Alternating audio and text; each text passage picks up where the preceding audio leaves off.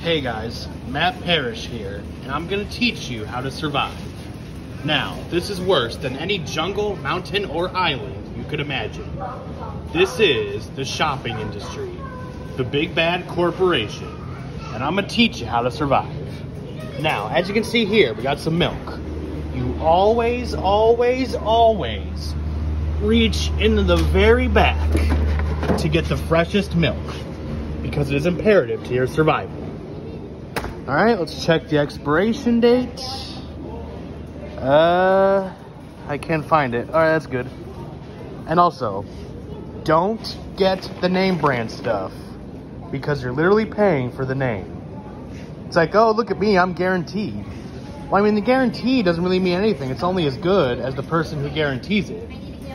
Like, if I were to put a rotten piece of chocolate into a box and mark it guaranteed, I would.